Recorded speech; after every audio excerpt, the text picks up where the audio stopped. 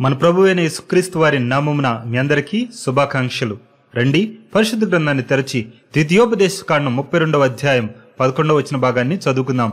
అక్కడిలా రాయబడి ఉంటుంది. పక్షిరాజు తన గూడు రేపి తన పిల్లలపైన అల్లాడుచు రెక్కలు చాపుకొని వాటిని పట్టుకొని తన రెక్కల మీద వాటిని మోయినట్లు ఎహోవా వానిని నడిపించెను అని. గమనించండి దేవుడు ప్రతిరోజు కూడా మనకి ఏదో ఒక పాఠాన్ని నేర్పుతూ ఉంటారు.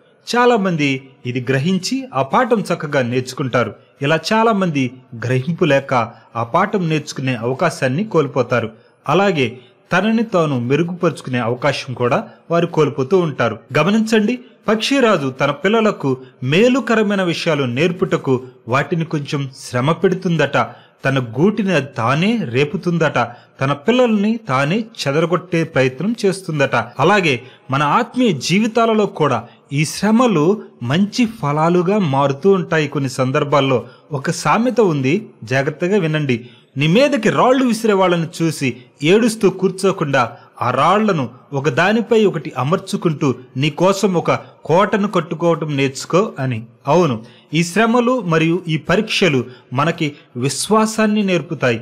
పరీక్షలు నమ్మకాన్ని శ్రమల విశ్వాసాన్ని పెంచి పోషించే మంచి నేల వంటివి. ఈ కష్టాలు మనలో దైవిక విశ్వాసం పట్లను దైవిక ప్రేమ పట్లను నమ్మకాన్ని ఎలా పెంచుకోవాలో నేర్పిస్తాయి. నా ప్రియ స్నేహితులారా గమనించండి తన గూటిని తానే చెల్లాచెదురు చేయటం ద్వారా మాత్రమే ఈ పక్షిరాజు తన పిల్లలకి ఎలా ఎగరాలో నేర్పుతుందట. ఒక సమయంలో అవి ఎగరాలి లేదా పడిపోవాలి. కాబట్టి అవి కాస్త కష్టపడి ఎగరటం నేర్చుకుంటాయి. అలా అలా ఎగురుతూ ఎగురుతూ చివరికి అవి ఆకాశంలో అత్యున్నతమైన ప్రదేశాల్లో ఎగరటం ప్రారంభిస్తాయి.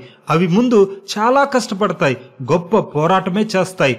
చివరికి అవి ఎత్తైన శిఖరాలకు పైగా ఎగురుతూ ఉంటాయి. గమనించండి. అలాగే మన దేవుడికి కూడా తన బిడ్డల గోళ్ళను కదిలించడం ద్వారా వారికి విశ్వాసం అనే రెక్కలతో ఎలా ఎగరాలో నేర్పుతాడట.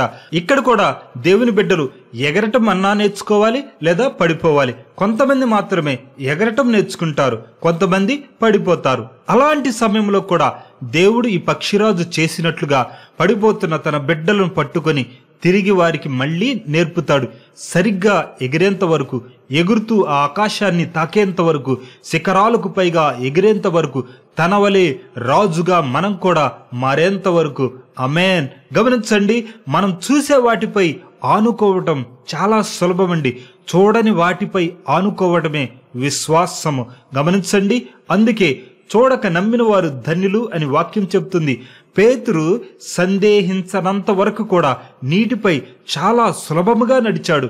ఎప్పుడైతే సందేహించాడో అప్పుడే ఆ వెంటనే మునిగిపోవటం ప్రారంభించాడు. మన దేవాది దేవుడైన యెహోవా ఎడలి మన విశ్వాసం ఉంది చూశారు. అది అద్భుతాలు చేస్తుంది. అవిశ్వాసం అన్నది జరుగుతున్న అద్భుతాలను కూడా కొట్టివేస్తుంది చెరిపివేస్తుంది. మన కళ్ళకి ఆ అద్భుతాలు కనిపించకుండా చేస్తుంది. ఆ అద్భుతాలు మన ముందుకు రాకుండా అడ్డుగా నిలబడుతుంది అనమాట అందుకే విశ్వాసముతో ఆ అడ్డు తెరను మనం తొలగించుకొని అద్భుతాలను చూడగలగాలి.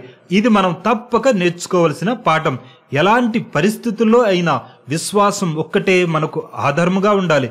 దేవుడే మనకు సమస్తం. అందుకే ఈ శ్రమల పాఠశాలలోనే కిరీటాలు సంపాదించుకోగల పాఠాలు మనం నేర్చుకోగలం. దేవుడు మిమ్మలను దీవించునుగాక. The Gate of Heaven, always good news.